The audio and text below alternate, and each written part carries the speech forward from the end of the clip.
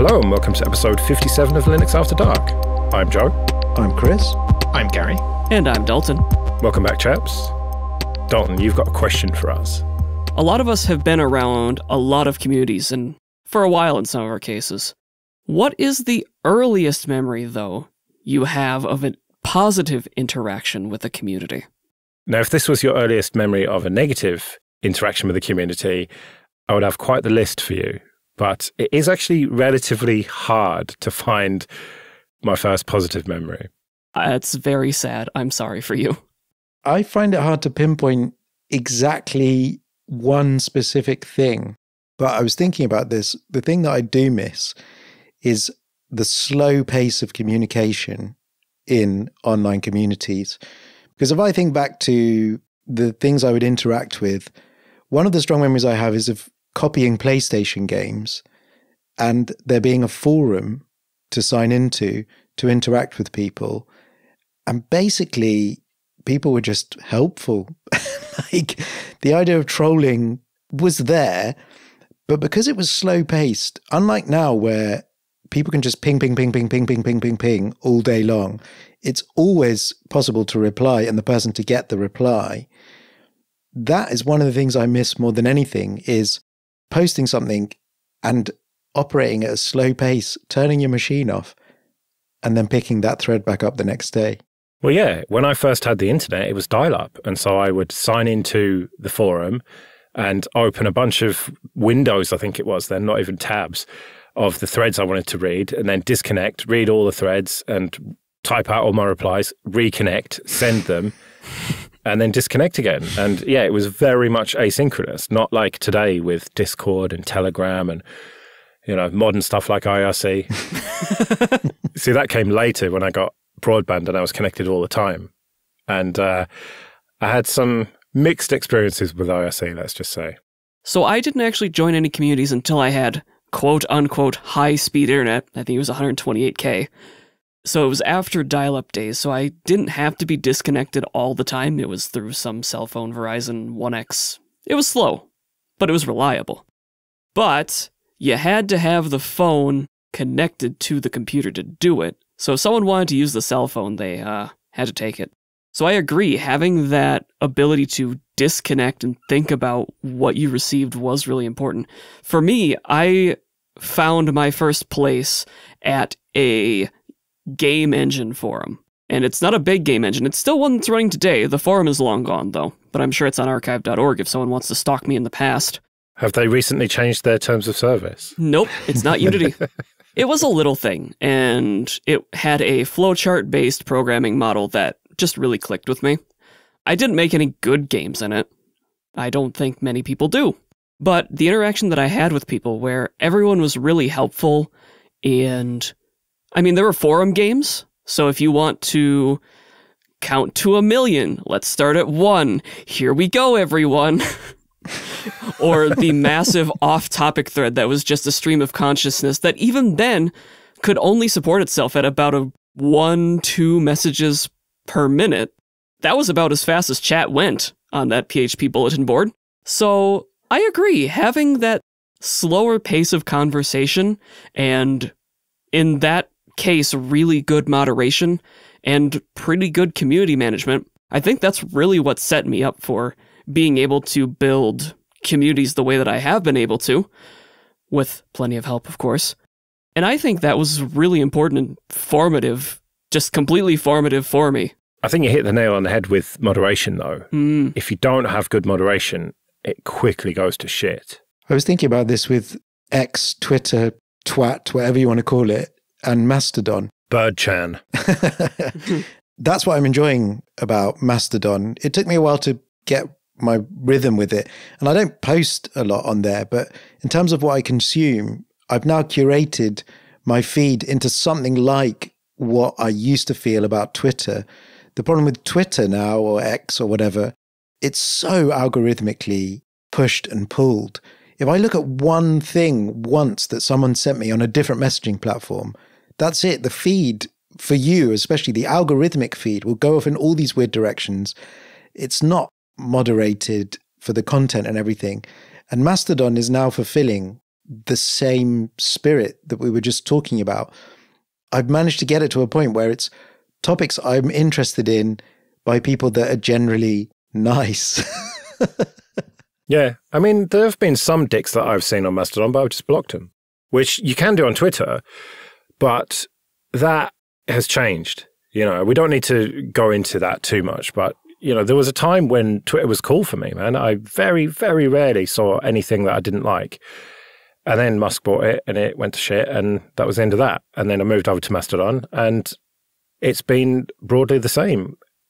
It's easy to curate, there's no algorithmic stuff happening, and it's a pretty welcoming community. I mean, I've had some reply guys recently, and I just block them. Move on, no problem.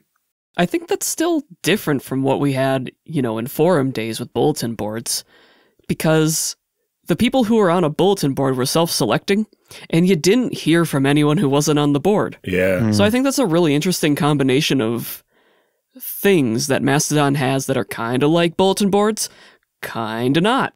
Well, the thing about the bulletin boards that I was part of was that they were very small communities. There were only 20 or 30, or maybe up to 100 active posters on there. Mhm.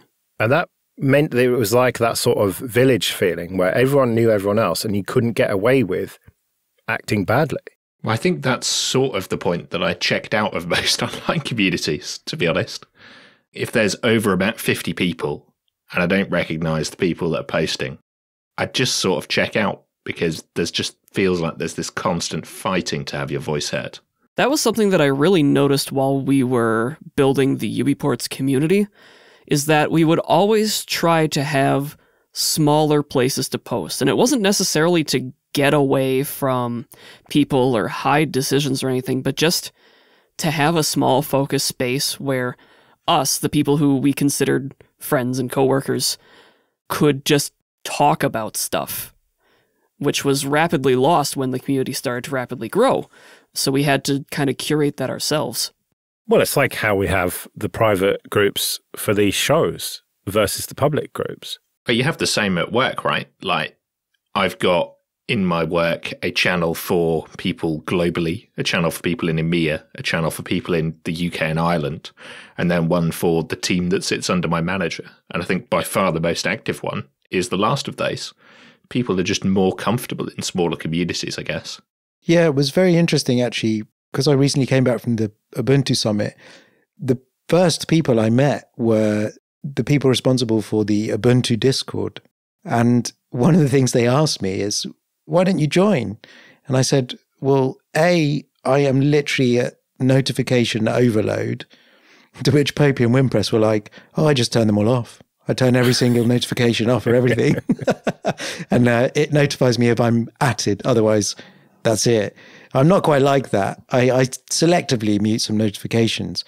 But it's also because I have I've joined the Sensible World of Soccer Discord and I found it so I felt like an old man, I have to be honest. Well, the main problem there was that you joined Discord. Yeah, there are entire communities I'd left because they moved to Discord. Just no interest in it at all. I know you're young and use Discord, Dalton, but I find it baffling and overwhelming.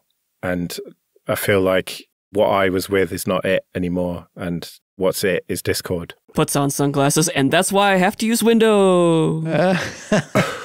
Well, you make me feel super old, Joe, because I feel overwhelmed that our work Slack recently had the Giphy plugin enabled, and that's too much for me. I've set it to hide all of the GIFs and not play the animations. I just want text. But GIFs are for old people now. Like I uh, spoke to a very young person that I know and asked, are GIFs cringe? And she said yes. At least you worded the question correctly. Well, I'm down with the kids, Dalton. Oh, I see. Okay, this episode is sponsored by people who support us with PayPal and Patreon. Go to linuxafterdark.net slash support for details of how you can support us too. Linux After Dark is part of the Late Night Linux family, which means that for $10 a month on Patreon, you can get access to an RSS feed that contains all the Late Night Linux family shows without adverts like this. There's also an option to get just this show ad free for $5 a month. Some of the episodes are even released a day or so early for Patreon supporters. So if you like what we do and can afford it, it would be great if you could support us. at linuxafterdark.net slash support. I really enjoy visiting the OpenWRT forum because it has everything that we discussed. It's small, it's subdivided. You know, there's a hardware section, there's a device bring up section, there's a little off topic section.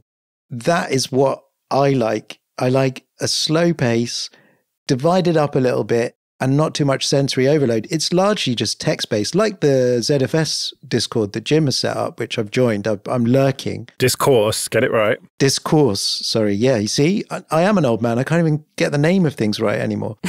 yeah, Practical ZFS, that's called. Practical ZFS, exactly. It's just text. I mean, yes, you can embed images if it's relevant, but most people don't. There'll be backticked code snippets and things like that. But I enjoy that just like I prefer reading a blog post than watching a YouTube video on the whole. That is how my digital mind has developed. So when I go into Discord and it's just ping, ping, ping, at ping, ping, ping, group, group, channel, ping, ping, ping. At everyone. Ah, yeah. I just feel old. Suppress at everyone is there for your enjoyment, not everyone else's. for large Discord servers, it is very difficult to get things tuned to the point where you see what you want and you don't see what you don't at least on bulletin boards, you know, it was like, here's your channels, here's the different categories, and you have a custom icon on each one. So you think, okay, I don't want to look at those ones because I don't like them. But on Discord, it's all just hash the thing. Thanks. And you can't reorder them mm. yourself. That's for admins to do. Um, or maybe you can now. Whatever. And there's too many emojis in uh, Discord. I don't like that. Well, that's where you're wrong, old man. No, in my day, you did a colon and a bracket for a smiley face. What's wrong with that? Why do you have to have little pictures? this is where you just send us the table flip ASCII art thing. Yeah, exactly. yeah, that was creative. Like, it, you know, you had to work it out sometimes. What was the thing? And, like, you know, a bracket, an underscore, an eight, a bracket. Yep, yep, keep going. a pipe and another bracket. And you've got Homer. Like, you know, that was like back in the day that you had to creativity. Now it's just like, oh, I'll just click this button and it's, you know, a picture of some shit. You know that Discord has slash table flip, slash unflip, and slash shrug for all of those old kaomojis, right? Uh, no, I didn't know that. Yeah. I didn't know that because I'm in zero Discords. to turn the tables, though, I wonder what people that like Discord think about the things that we like. Yeah. Are they looking at bulletin boards and forums and thinking, God, this is shit, isn't it? Well, I don't think they are looking at them because yeah. they almost don't exist at this point because Facebook just ruined that whole thing. One of my earliest positive memories of a community was a small movie forum where we talked about like obscure films and stuff like that. And then eventually that just died as people moved over to Facebook to talk about that stuff. And so now the only real forums that are left, well, there's some guitar ones and um, lots of tech ones and stuff, but they're just far fewer than they used to be. I guess there's some tabletop RPG and niche interest kind of things as well. Things kind of move to Reddit and then they move back out as Reddit does something bad, then they go back in. Mm. For Discord itself, I mean, for all the real time chat platforms that we have now, it is just really fast. And I think the solution that most people have is just being in smaller ones. Even ones the size of the late night Linux Discord, plug, plug, can kind of be overwhelming. You see all the people in the online, you're like, I don't want to, I don't, I don't want to say something bad here. Someone's gonna kick my ass. Yeah. Well, one of my favorite Telegram groups is the group that used to be for System AU, which was an Australian Linux podcast. And now there are 10 people in there, including me. And so it's very slow. Sometimes there'll be days go by without anything. And then some days there'll be like 100 messages or whatever. But again, it's a much more welcoming, relaxed atmosphere in there. You do realize you've just ruined it, right? Well, no, because you, there's no one can find it. Uh, You'd have okay. to like find the right person to be let into it, I think. I guess what's happened is what you said, Joe, isn't it? The what used to be a series of bookmarks for different forums in a different format with a different topic, they've been centralized. And yes, a lot of that centralization is kind of fragmenting. For Reddit, people have tried to recreate it with Lemmy, but I don't think that's quite the same. Twitter and Mastodon are not the same thing, but it hasn't gone back to that fragmentation. And I can distinctly remember opening, I mean, even before browser tabs were really a thing, we're going back a long time, just having different windows open for different forums and visiting them one by one and not knowing about the idea of having one platform that put everything in one place. And that's what's changed. And we've kind of come out in the wash somewhere. But you know, I really miss PHP BB and having to set 777 on certain directories to make it work. oh, if only we had known better. but there are some Linux communities that are pretty toxic these days. I don't want to name any names, but like it does come back to who's in charge and the moderation. And even small ish communities can be really just horrible if the people running them are dicks. Right. Good moderation really needs a kind of person who is a certain kind of up themselves, such as me. Um, because you need to be a little bit idealistic, but not so far up your own ass that you can't see daylight, if I want to say it like that.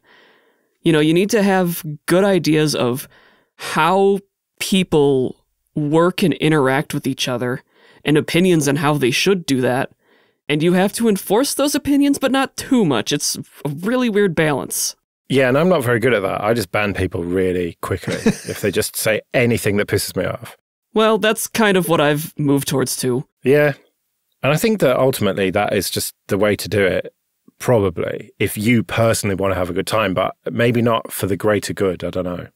A while back, I read a post, and I don't know if I'll be able to find it, but it was by someone who ran a large online game and I can't even remember what kind of game it was. It's something where you start a web page and click a button to make a choice, and then you keep doing that for years. And it built up its own community, including a lot of people who didn't want to be there anymore. And the post was all about you just need to get rid of people who don't want to be there anymore. They're not having fun. You're not having fun. They're all commiserating and not having fun. Just get rid of them. Ban early. One of the worst aspects of communities are the people who are just a drag on it and they don't do anything wrong. You know, they don't necessarily insult people. They don't use any offensive words. They don't spam links or anything, but they just drag it down like an anchor. And you feel bad for wanting to get rid of them until you actually do it. And you feel a bit bad for getting rid of them, but then things improve. The mood improves. People stop just disappearing when that person or those people start talking in the community. And we did an interview with Jono Bacon about this years ago on Late Night Linux. And it's something I've really struggled with. At what point do you just call it and get rid of someone? For me, it's transitioned to very, very early. It's a constant challenge, isn't it? And even if you have multiple moderators, eventually it's going to be a reflection of the human beings that those people are. And as you say, Dalton, you you have to have a specific way of thinking and there are people that are good at it and there are people that are bad at it. And it's certainly something that is a skill, and some people lend themselves to it more effectively. And I think that's what's always a difficult thing because it's going to come in ebbs and flows. And for ages, you'll think, okay, this is kind of chugging along nicely. And then every community will have difficulties at points. And that that is when the moderation kicks in and when it can sometimes be hard because you have to try and take a step back a little bit, but also keep your head. So I, I really admire anyone that has to do it and doesn't lose it and is patient and manages to keep it going along. And while we're on it, that does lead to a lot of burnout in people who need to moderate and manage online communities. Hmm. I can raise my hand here. so if you're in a really good community, give back any way you can. Right, well, we better get out of here then. We'll be back in a couple of weeks, but until then, I've been Joe. I've been Chris. I've been Gary. And I've been Dalton. See you later.